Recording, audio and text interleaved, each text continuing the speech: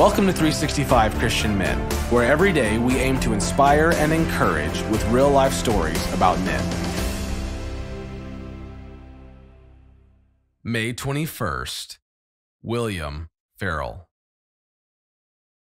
Farel was a man of intense courage, boldness, and fearlessness, and he eventually became a significant figure in the Protestant Reformation of the 16th century.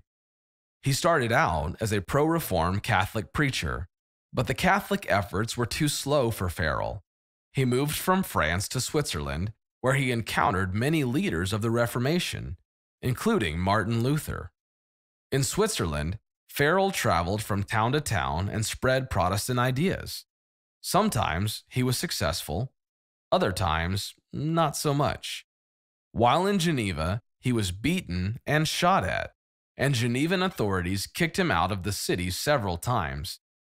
Because of widespread immorality in Geneva, one Easter Sunday, Farel refused to serve communion. But he persevered in reaching out to the people, and on this date in 1536, Farel brought the Reformation to Geneva. Together with John Calvin, another Frenchman, Farel continued to work in Geneva until both of them were expelled in 1538. Here is his story. Any truth worth believing is a truth worth defending. William Farel was a wanted man, and under a false name, he was hiding in Switzerland. Quietly, one person at a time, he told the truth about Jesus and he helped people connect with the all powerful Savior. Eventually, Farel took his own name back and he went public. He had taken the tower. Next, he would take the town. He ascended the pulpit and openly preached Jesus Christ to the astonished multitude. The bold, ginger bearded preacher had one passion teaching the Word of God in a way ordinary people could understand. But the local religious leaders feared his teaching, saying, if this man continues preaching, it is all over for our church. So they set themselves against him. Days later, from a pulpit in a neighboring town, a local monk shouted to the villagers about Farel. It is the devil himself who preaches by the mouth of this minister, and all those who listen to him will be damned. Convenient for the monk, Farel had missed that sermon. Then the monk rushed from the scene focused on his next item of church business.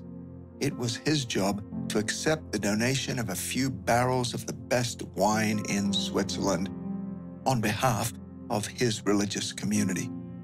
But when he got there, the monk unexpectedly came upon Farel. Did you preach against me at Noville, saying that the devil spoke through me? asked Farel. The monk leaned in and whispered that he had. Calmly, Farel asked whether the friar believed it was possible for the devil to preach the gospel and if the people who heard it could somehow be damned for listening. Flustered, the friar raised his voice and said that notion was absurd. Farel got louder. Then why have you publicly spoken against me in such terms? He said, I would rather die than teach false doctrine to the poor people whom Christ has redeemed by his blood. The friar said that he had heard Farel was a heretic who led people astray, and he turned to walk away. But Farel wasn't done and followed him. Their argument went on longer, and their voices grew louder and louder, and the crowd around them got bigger and bigger. Farel gestured toward the monk. You see this fine father? Farel said to the crowd. He has said from the pulpit that I preach nothing but lies, and that you will perish if you listen to me. Now the monk was furious. He denied he had ever spoken a word against Farel. In a fit of rage, he whipped the hat off his head and stomped on it. With each fevered step, dirt and debris flew. Right about then, a Roman magistrate arrived on the scene and hauled the two preachers off to jail because they were causing a disturbance a hearing at the castle court was scheduled. When Farel arrived at the court, the friar was already standing before the judges. and the court asked Farel to speak about the friar's accusations. Let him make good his charges, Farel said, or if he cannot, let the people hear the gospel. The friar fell to his knees before the court and Farel, and he begged forgiveness for his slanderous words. My friend and brother, Farel said, do not ask forgiveness of me, for I am a poor sinner like other men. Ask pardon of our Savior. Then Farel begged the court to show mercy. The gospel had been defended, and that was all that Farel really wanted for the people of French Switzerland to have the word of God. Jude 1:3 says, Contend earnestly for the faith which was once for all delivered to the saints. How is God leading you to speak the truth of His word in love, even if it brings persecution? Any truth worth believing is a truth worth defending.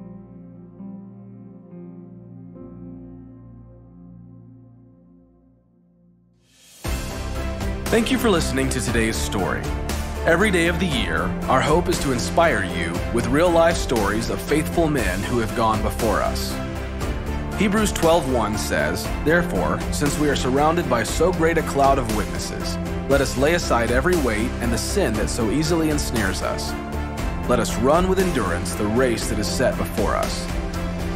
Join us tomorrow for another story at 365christianmen.com.